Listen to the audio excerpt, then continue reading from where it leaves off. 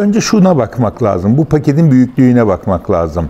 Ee, önceki gün Cumhurbaşkanı 15 maddede açıkladı. Ee, baktığınız zaman 15 madde çok müthiş gibi geliyor. Ee, 15 maddelik kurtarma paketi toplam 100 milyar Türk lirası. Yani dolara çevirdiğimiz zaman 15 milyar dolar gibi bir rakam ediyor. 15 milyar 70 hatta 80 milyonluk bir Türkiye'de yaşanan derin bir krizin ki biz sadece koronavirüs krizi yaşamıyoruz. Aynı zamanda bizim 2 yıldır hatta 3 yıldır yaşadığımız dev devasa bir e, ekonomik krizimiz var. Bu krize ne kadar çare olacak? Orası elbette e, tartışılır ama dünyaya baktığımız zaman bir Fransa, ki hemen hemen aynı büyüklükteyiz e, nüfus olarak. Belki ekonomimiz elbette değil ama ya da diğer ülkelere baktığımız zaman kriz için 100-150 milyar dolar gibi oldukça büyük fonlar ayrılıyor. Ama Türkiye'de bu para çok küçük bir para. Ee, sorunuzun yanıtını vermeden önce tartışılması gereken bu 15 maddede ne var?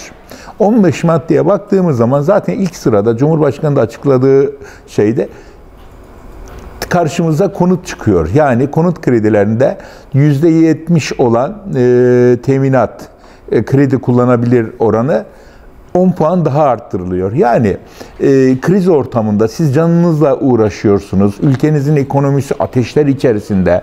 Kobiniz, restoranlarınız, lokantalarınız, hatta mahalle bakkalınız, berberiniz batıyor. Ama siz burada konut kredisinin hem faizini düşürüyorsunuz hem de daha fazla orançı arttırıyorsunuz. Yani bunun krizde çare olma diye bir olayı yok. Ayrıca kim herkes insanlar canınla uğraşırken gidip ev alacak da evin sadece %10'unu verecek. %90'ını banka kredi olarak bu biraz e, ekonomik gerçekçiliğe uymuyor. Yani iktidarın her zamanki gibi inşaat aşkının e, bir ürünü diye çıkıyor karşımıza.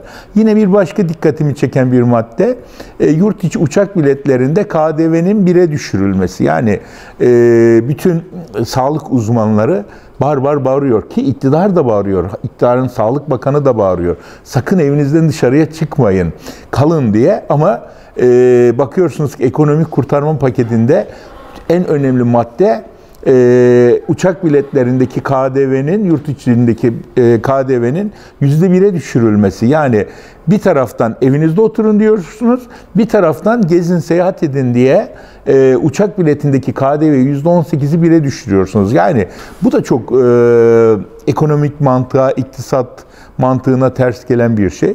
E, geriye kalıyor KGF, belirli e, krediler.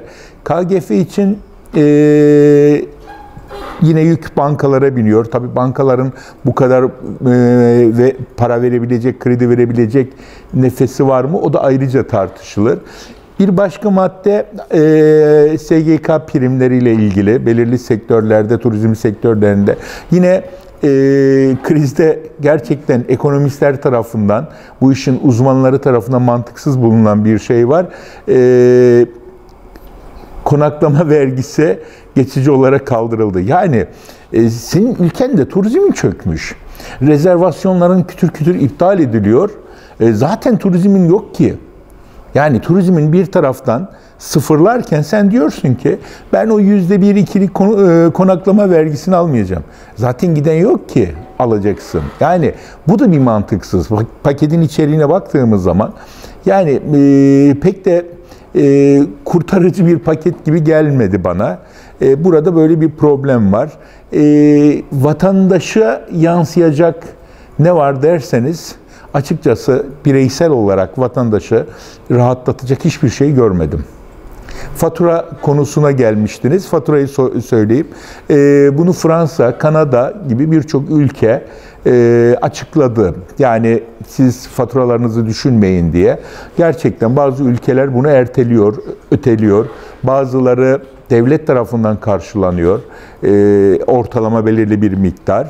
Çünkü insanlar işine gidemiyor, evlerindeler. Yani şimdi siz evde otur diyorsunuz ama evde oturmanın bir maliyeti var. Yani e, herkesin işi e, seni aylık finanse etmiyor. Mutlaka doğal olarak işinden oluyorsun. Tabii ki işsizlik apayrı bir olay. Bu nedenle hükümetin bu paketin e, şeklini değiştirip vatandaşa yönelik yapması lazım. Bankaların bir kredi not olayı var biliyorsunuz. KKB deniliyor. Kredi Kayıt Bürosu notu. Baktığınız zaman zaten vatandaş gırtlağa kadar borçlu. Ha bunu şöyle yapabilir. Bir de e, tahminimize göre kesin bir rakam bilinmiyor. Bu açıklanmıyor.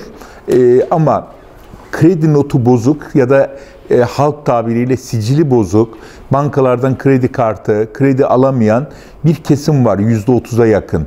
Ha bunlar için bir sicil affı çıkartılabilir mi tıpkı memura yaptıkları gibi? O zaman böyle bir af çıkartılırsa eğer bu insanlar yeniden e, nefes kredisi alabilirler. Yeniden e, borçlarını yapılandırabilirler. Böyle bir uygulama yapılması lazım ama genel olarak şu anda Türkiye'de açıklanan ekonomik paket vatandaşın 80 milyon halkı ilgilendiren hiçbir şey yok.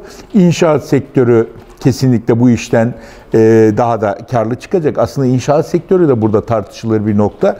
Çünkü e, önceki hafta açıklanan verilere baktığımız zaman dar gelirlerin konut edinme oranının çok düşük olduğunu görüyoruz. Yani satılan e, konutların yine büyük bir bölümü belirli ekonomik seviyede olan insanlar tarafından alınıp satılan ki bunlarda yine burada onu anlatmak istiyorum.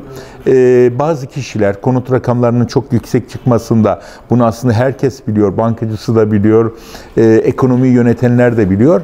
Genelde e, ticari kredi amaçlı kullanılıyor. Yani sizin 500 bin liralık bir eviniz varsa ya da 400 binlik eviniz varsa bunu 500 bin liraya ailenizden işte kaynananıza, kayınpederinize, e, baldızınıza satıyorsunuz o parayı işletme kredisi olarak kullanıyorsunuz. Çünkü bankalardan bugün e, 10 yıllık işletme kredisi alamazsınız. Alsanız bile e, oranlar çok yüksek. Ama gidiyorsunuz kamu bankalarından 0.99 hatta daha da altına kredi alıyorsunuz.